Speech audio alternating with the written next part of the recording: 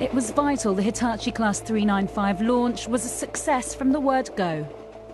Well, I've worked in the UK rail industry for about 25 years, and this is the smoothest new train introduction I've ever come across. Things went extremely well. Where we did have problems and difficulties, we found Hitachi extremely responsive.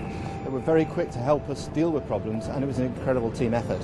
We focused from the outset on the teamwork because that's what HS1's all about. Working in partnership with the other organisations that use the railway and with our customers. Hitachi is a massive brand around the world, huge success in other markets, so we knew they were competent of transferring that success into the European market. We knew they'd handpicked a team to do it, and they worked with us from the outset hand in hand to get the technical details of the train right.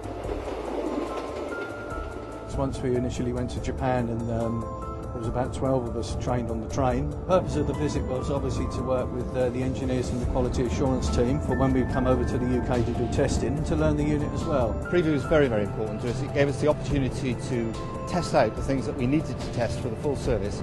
It gave us a real opportunity to show customers just how great this high-speed service was going to be. Because we had a real close-knit um, relationship with the guys from Hitachi, it enabled us to ask any question, anything we weren't sure about, we've, they found an answer for it. The ease of which um, the train operates um, is really good. The cab environment is uh, superb. All of the drivers I speak to, they like the job, they love the environment that they work in, uh, and especially the train. Yeah, we were very confident. We'd proven that the trains were reliable, uh, the passengers really liked them. We also had proven the operational concept of the new service, and we were excited actually, not uh, uh, nervous at all about introducing the service.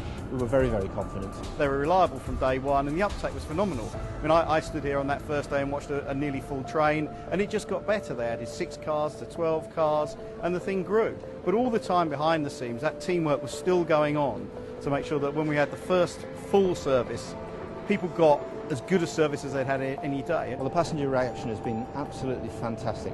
Passengers love these new trains. In fact, uh, in the latest National Passenger Survey, which is independently run, this service has been rated by its commuters as the best commuter rail service in the country. So people enjoy the speed of the journey, they enjoy the fact that it actually arrives and leaves on time each day. Quite different to the national network, and I just think you can go anywhere, talk to those people, you get that stuff, and, and yes, we get that feedback all the time. Some of them find it life changing in terms of the experience of the service. Reliability has re remained very, very good.